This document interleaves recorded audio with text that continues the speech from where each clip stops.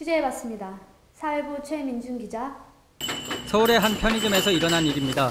많은 사람들이 무분별하게 이 로고가 있는 제품을 담고 있는 모습인데요. 왜 이렇게 사재기를 하는지 직접 물어봤습니다. 왜 이렇게 편의점 제품을 많이 구매하시나요?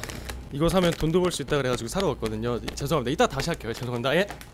인터뷰 결과 이런 이벤트 구조를 통해 고객들이 이중으로 이득을 취하고 있었습니다. 과열된 이벤트에 참여하지 못한 사람들의 상대적 박탈감이 가중되고 있는데요. 현장에 나가 있는 최민준? 기자 연결하겠습니다. 배가 너무 아픈데. 아 지금 나올 것 같은데. 최민준 어. 기자. 현질한 게임 이용자들을 일반 유저들을 대상으로 폭력성 게임을 실험해 보도록 하겠습니다. 이벤트에 참여하지 못하게 되면서 상대적 박탈감 때문에 충동을 억제하지 못하는 경향이 생긴 것 같습니다. 야, 야, 아, 씨, 또 꺼졌어. 아, 미치겠다. 편의점 털이 보이스 피싱 등너 뭐하는 새끼야? 저, 저요?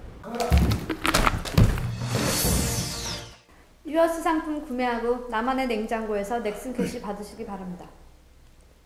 이상 9시 뉴스였습니다. 감사합니다. 아, 큰일 날 뻔했어. 먹으면서 얘기한 거야.